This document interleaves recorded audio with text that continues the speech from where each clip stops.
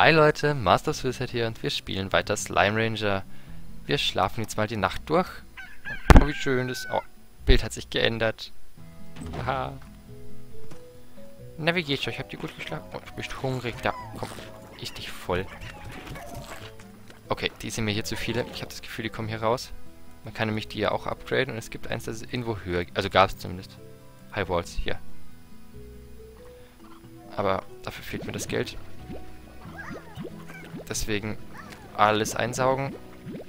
Eigentlich will ich gerade nur die Kristalle, aber weil ich die so schwer einzeln erwischen kann, mache ich es einfach immer so, dass ich zwölf Slimes habe ich drin. Sorry, für euch habe ich noch nichts zu essen. Aber ihr habt ja eh noch eine einzelne Karotte für euch fünf rumliegen. Dann so Survival of the Fittest. Der, der die Karotte kriegt, darf überleben. Der recht verhungert. Nein. Würde ich nie machen. Davor tue ich die lieber äh, einsaugen und irgendwo in der Nähe, wo sie dann wieder was essen können, rauslassen. Das ist auch lustig. Wenn die Hunger haben, kann man auf die andere Seite so eine Karotte legen. Dann kleben die alle an der Fensterscheibe und starren so voll deprimiert die Karotte an, an die sie nicht drankommen. Aber das wird natürlich kein... Warum habe ich das jetzt gemacht? Egal. Er würde natürlich kein guter Slime-Manager machen, seine Slimes quälen. Aus zwei Gründen. Zum einen geht es nicht, dass man sowas süßlich schlecht behandelt. Und zum zweiten, dann schmeckt der Leute nicht so gut, wenn die gestresst sind. Das ist sehr stressunresistent. Stressunresistente Tiere. Die Slimes. Da muss man aufpassen, dass man die gut hält. Ja genau, jetzt ist zum Beispiel der Preis für den rosa Blood gesunken, der ist jetzt auf 8. Der ist gleich geblieben. Was steigt denn gerade? Die hier wäre natürlich gut, aber an die komme ich glaube ich noch nicht ran. Also ich habe noch keine von gesehen. Honig, Wasser, Goldblot. Gold ist natürlich immer super. Aber Gold habe ich bisher einmal getroffen, da wusste ich nicht, was ich mitmachen muss. Also wenn hier irgendjemand da ist, der weiß, wie ich mit einem, einem Goldslime umgehen muss, weil ich will es jetzt nicht irgendwie googeln oder so, der kann mir das gerne reinschreiben. Und dann, wenn es möglich ist, halte ich dann vielleicht irgendwann sogar Goldslime hier. Na kommt's. Nein, nicht in meine Röhre hier. Ich will doch eigentlich nur, dass ihr viel Plot hergibt. Hö. Was ist das? Warum wird mir ein Home-Symbol angezeigt? Was ist da? Hat jemand eine Nachricht für mich hinterlassen?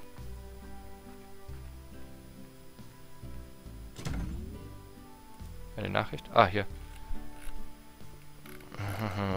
Welcome to Far Range. We would like to contact you.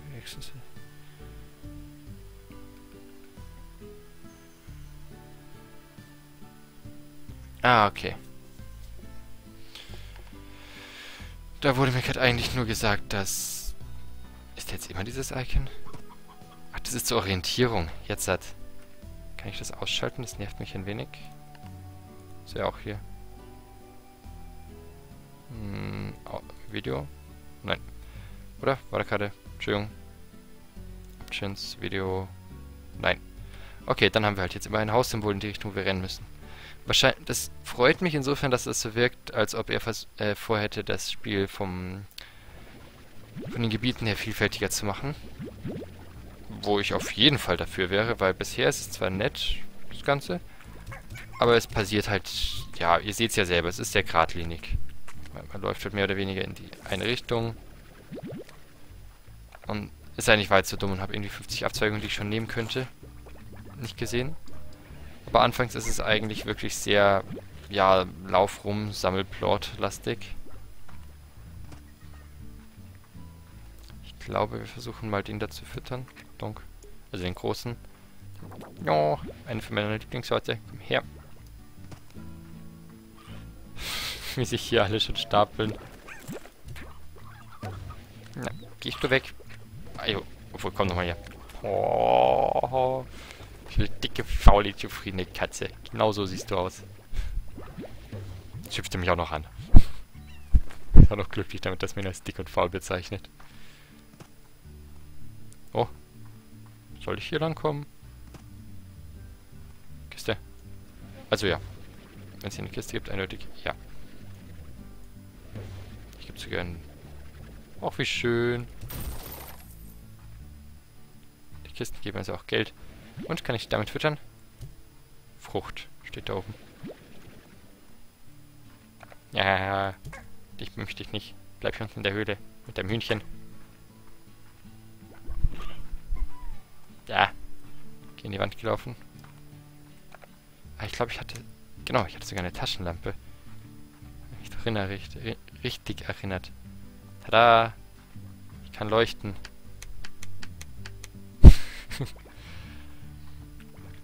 Ja, das weckt Erinnerungen.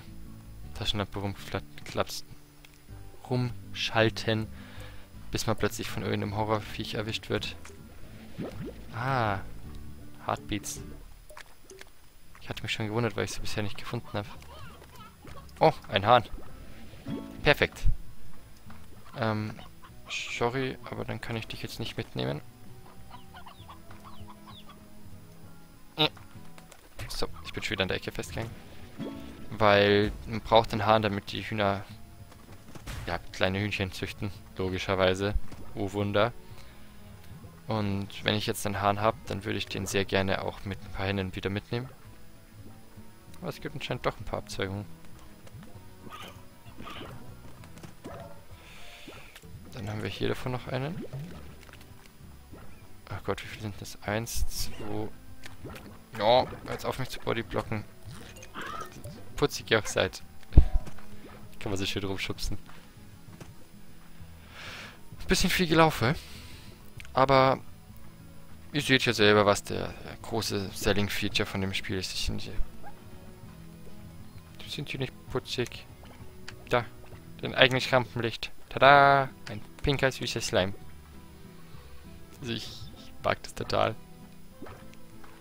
Ich glaube aber, also ist mir jetzt inzwischen aufgefallen, dass es nicht das ist, was man hier langzeitig als Serie nehmen kann.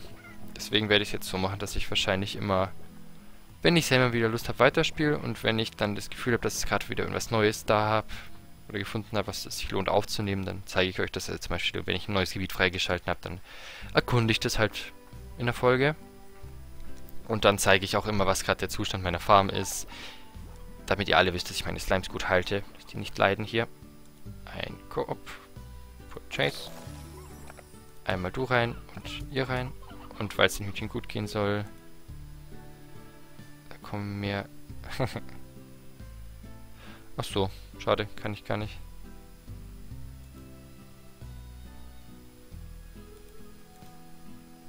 Ähm, ich habe nur gerade überlegt, ob ich es will, aber... Achso, ich kann ja gerade noch nicht mehr rosa Plot mitnehmen. Ist ja gerade auf dem niedrigsten Stand bisher. Aber mein Inventar ist trotzdem voll davon.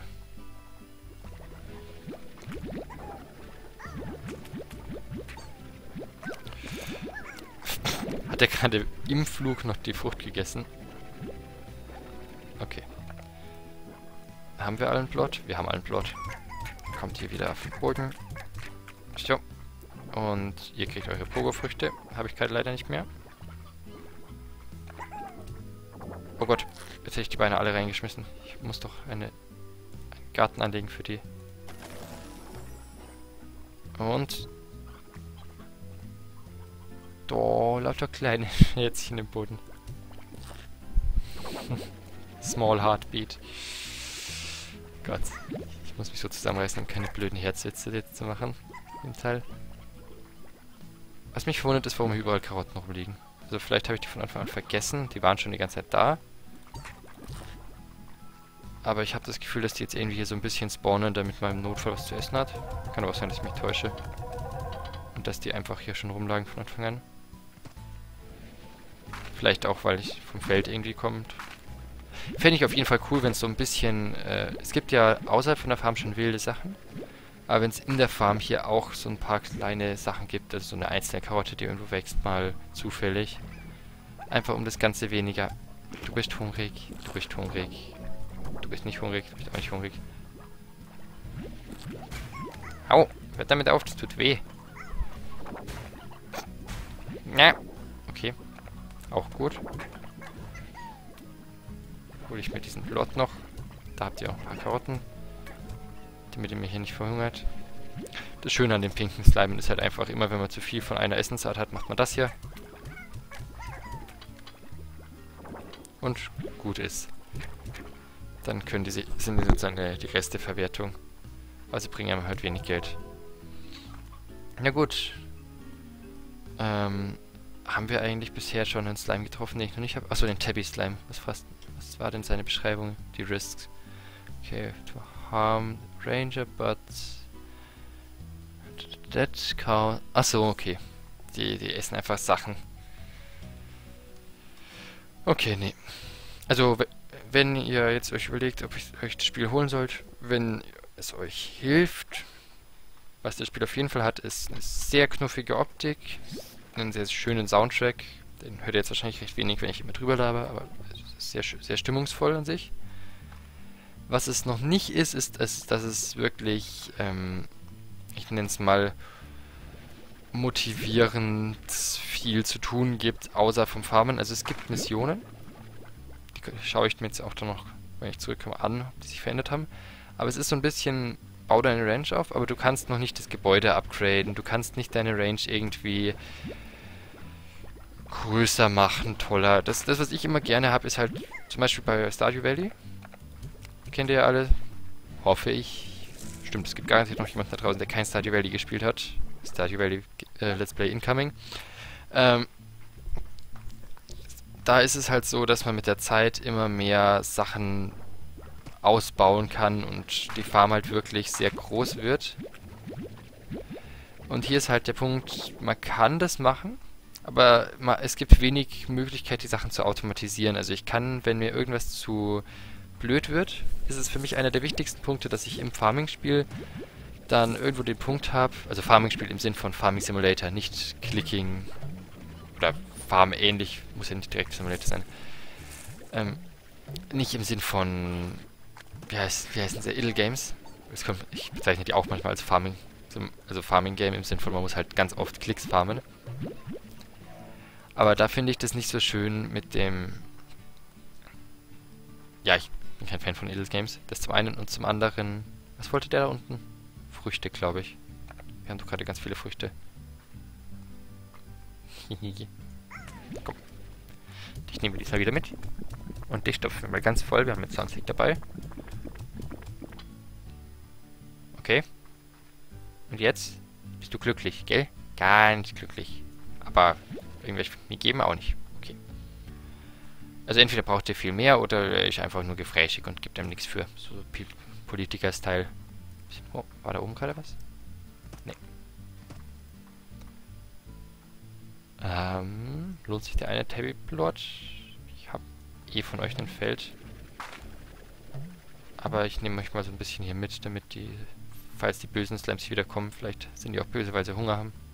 Genau, das ist auch was, wenn ihr eure Slimes nicht gut füttert, dann werden die hungrig.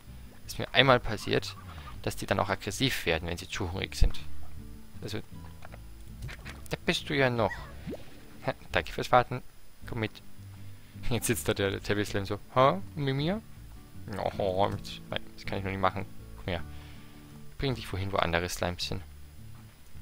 Na, komm her. So. Also, wo war ich stehen geblieben eigentlich vorhin? Genau, der Punkt ist, man kann die Ranch schon nicht wirklich gut upgraden und es ist nervig, dass es keine Upgrades gibt, die sozusagen automatisch Futter von der einen Stelle im, auf der Ranch zu dem anderen Slimehaufen transformieren, äh, trans überführen. Überführen trifft am besten. Meine Berries. Cube Berry, sweet, they never roll off the table. Ja, das, das sehe ich ein, dass die nicht vom Tisch rollen werden. Das klingt für mich sehr logisch. Da bin ich jetzt schon wie oft runtergesprungen. Mhm. Aber wenn es für euch interessant, also wenn euch das nicht zu, zu blöd wird, dass ihr so diese Rumgerenne in der Farm, also ihr müsst jetzt nicht wie hier die ganze Zeit rumrennen später, aber ihr müsst auf jeden Fall in der Farm rumrennen, halt die Karotten vom Feld abziehen und die Karotten, die man vom Feld abzieht, dann in den automatischen Fütterapparat beim Slime-Teil machen. Dann müsst ihr immer noch manuell die Plorts vom Fütterungs... äh, vom sozusagen Plort-Absaugautomaten, den ihr bauen könnt, manuell zum Geldverdienen schicken. Und ihr könnt halt nicht dafür sorgen, dass ihr irgendwann einfach nur noch Kunden könnt oder sowas. Also ihr müsst halt immer einen halben Tag oder so später damit verbringen, dass ihr euch um eure Slimes kümmert. Was zwar an sich realistisch ist, dass die Farm nicht irgendwann sich von selbst versorgt, aber in Anbetracht der Tatsache, dass ich auf eine Taste drücken kann, um den Garten zu bekommen. Der Baum ist auch eckig, ist das euer Ernst? äh, im Sinn von, dass ihr auch auf eine Taste drücken müsst, eigentlich nur um einen, was zu erschaffen, wäre es doch auch möglich gewesen, das Ganze... Habe ich jetzt schon Beats? Ja. Soweit ich mich nämlich erinnere, war das das Lieblingsessen von meinen Lieblingsslimes. Kommt sehr. Habe ich alles? Ja. Nein, noch nicht. So, jetzt kriegt ihr noch was zu essen. Ja, genau. Und dadurch, dass sie jetzt ihr Lieblingsessen essen, kriege ich jetzt ganz viele von den blauen Slimes.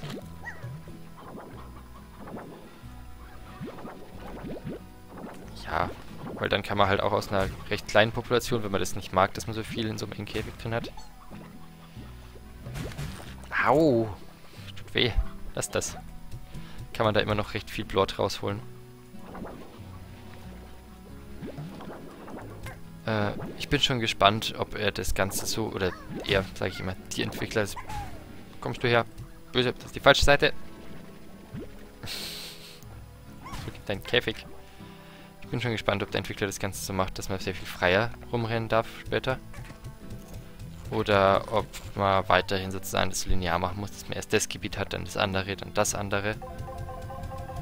Aber gut, das werden wir dann sehen. Wie gesagt, ich mache es jetzt dann einfach so, weil ich finde das noch nicht so, so, spannend für euch wahrscheinlich, weil ihr halt einfach da steht und oder da sitzt und mir zuschaut, wie ich durch die, die Gegend laufe, wie blöde. Machen wir es so und halt vor allem, ihr habt es halt dann alles irgendwann schon einmal gesehen. Deswegen dachte ich, wir machen es jetzt dann so, jedes Mal, wenn ein neues Update rauskommt, ein größeres, wo ihr ein neues Gebiet addet, einen neuen Slime oder so. Oder ich so weit gespielt habe, dass ich in eins der anderen Gebiete hier schon mal reinkomme, die es gibt. Dann werde ich das wieder eine Folge packen, so im Sinn von, ja, das, das, das Dschungelgebiet oder halt die, die Höhle oder so. Und dann laufen wir da durch und ich zeige euch die Slimes, die es gibt und wir fangen uns vielleicht einen ein, den ich haben will. Und je nachdem, wie viel es da zu sehen gibt, machen wir halt ein oder zwei Folgen draus. Und dann wird es hier so eine Art unregelmäßige Serie. Und das gleiche halt auch, wenn er größere Updates macht. Also wenn jetzt plötzlich alles viel toller oder zumindest detailverliebter oder so aussieht, dann kann ich ja auch mal kurz so 5 Minuten Video im Sinn von, was sich alles geändert hat, drüber machen.